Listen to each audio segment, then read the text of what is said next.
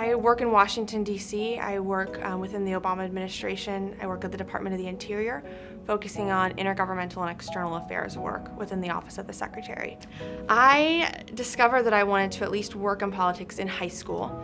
I didn't really know, know what that entailed though, but I thought when I came to Point Loma that I never wanted to do campaign work. That was one of the one rules that I had. I would never campaign. Uh, and I remember sitting within Dr. Beail's class in 2010, I think it was, sitting there going, I do not know why I need to take campaigns and elections. This should not be a required course. I will never ever use this. I have had to since apologize to Dr. Beail because that is exactly what I did right after I graduated. In 2012, I worked on the Obama campaign and then worked on the inaugural committee, uh, and then I worked for a political consulting firm. So my entire career was kicked off by the fact that I worked on a campaign, quite frankly. You know, I had come into Point Loma thinking there was this one specific avenue for me forward.